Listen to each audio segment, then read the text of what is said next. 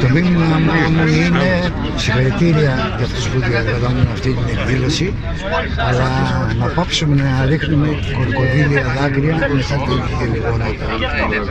Ο αθλητισμός ενώνει.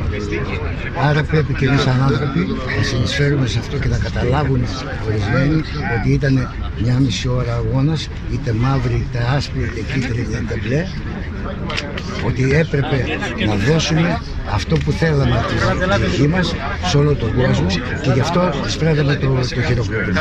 Μέσα σε αυτά τα πλαίσια πρέπει να σταματάμε οτιδήποτε άλλο. Οι αντιπαλότητες εκτός γηπέδων για μένα δεν, δεν είναι τίποτα.